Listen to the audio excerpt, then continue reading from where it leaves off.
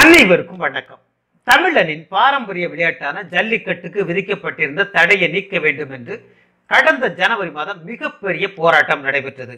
தமிழகம் முழுவதும் மாணவர்கள் இளைஞர்கள் அனைவரும் போராட்டங்களில் ஈடுபட்டனர். வேலைக்கு சென்றவர்களும் வேலை முடித்த பின்னர் போராட்டங்களில் பங்கேற்று தங்களுடைய உணர்வை வெளிப்படுத்தினர். தொடர்ந்து ஆறு நாட்கள் எந்தவித பிரச்சனையும் இல்லாமல் போராட்டங்களில் ஈடுபட்டனர். சென்னை மெரினா கடற்கரை போராட்ட களமாக மாறியது.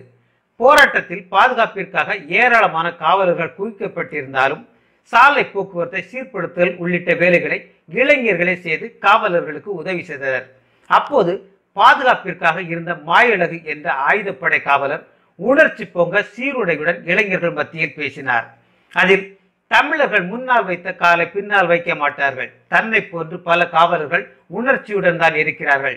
இது துவக்கம்தான் என்று பேசினார்.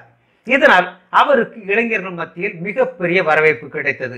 ஆனால் காவல்துறையோ அவர் மீது நடவடிக்கை எடுக்கப்படும் என்று கூறியிருந்தது. இந்த நிலையில் காவலர் மாயழகு மீது துறை ரீதியில் நடவடிக்கை எடு காவல்துறை எடுத்துள்ளது. அவருக்கு விசாரணை முடியும் வரை பதவி உயர்வு ஊதிய உயர்வு என எதுவும் கிடையாது என்று தெரிவிக்கப்பட்டுள்ளது. அன்று இதே ஜல்லிக்கட்டுக்காக களத்தில் இறங்கிய எந்த கட்சியும் அமைப்பும் இந்த காவலருக்கு ஏற்பட்டுள்ள நிலைக்கு குரல் கொடுக்கவில்லை என்பது குறிப்பிடத்தக்கது. நன்றி.